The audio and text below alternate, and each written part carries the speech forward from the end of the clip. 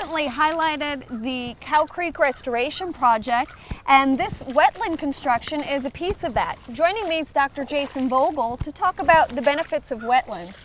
Well, Jason, I know there's a number of services that the wetland provides us. Can you share some of those? Sure. So on the landscape, a wetland provides um, valuable storage for stormwater runoff mm -hmm. um, so it can reduce flooding in our streams because it holds the water up before it gets to the streams.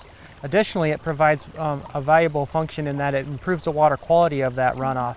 Um, but there's also a great deal of sediment, and that's a huge problem. Exactly. So when your water runs in here, it gets wider. Um, some it'll be deep in parts of the wetland, so um, that sediment has a chance to settle out of the and settle into the bottom of the wetland before it reaches our stream. And in the wetland, um, they, it can be dealt with a lot easier. So as the water runs into the wetland, there's a number of physical and biological processes that improve the water quality of the water um, when it leaves the wetland. In addition, it'll also provide valuable habitat because mm -hmm. it's a mm-hmm. very diverse ecosystem. It's one of the most diverse ecosystems in the world is within the wetland. Jason, what are the characteristics that make an area a wetland? So really a wetland is defined by three different characteristics. One is the hydrology, so the uh, presence of water for an extended period of time, presence of saturated soils is the main defining characteristic of a wetland.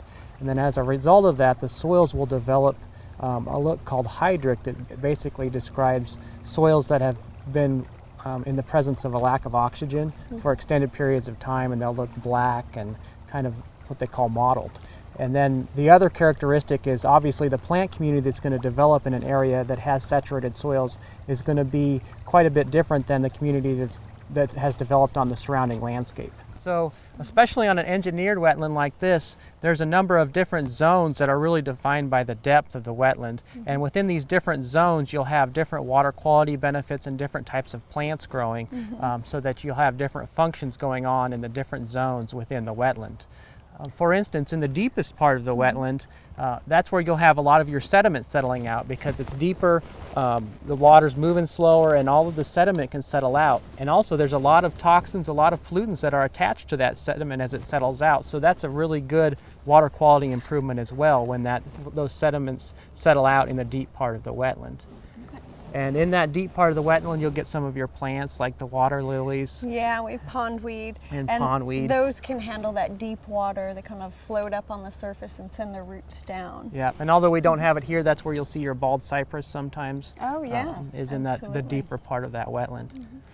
Now as we move towards the edge or we're standing on an island, we have different depths of water and those are some of the different zones. Tell me about another area. Exactly. So you're, as you're moving into your shallower zones, you'll transition into a zone where um, you'll get a lo lot of nitrogen removal. You get a process called denitrification and in those subsurface soils you'll get a lack of oxygen or and you'll get what they call anaerobic processes mm -hmm. where the microbes break down that those nitrates that are coming in in the, in the runoff from fertilizer and animal right. waste, those types of things, and then it'll um, turn that um, those nitrates into nitrogen gas and remove them before it's able before it gets into our streams and reservoirs and, and causes problems downstream. And that's an important uh, differentiation. A lot of people think the plants are the ones that are trapping all those pollutants, but a lot of it's happening in the soils.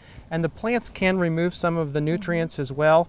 The thing is, when the plants die, if you don't harvest those plants, they go back into mm -hmm. into the wetland. So then it, it, it continues that cycle that's going on within the wetland, but they aren't necessarily removed unless you harvest the plants. Okay, but they're being held within, and we're keeping them from going downstream, which is really what we want to exactly achieve.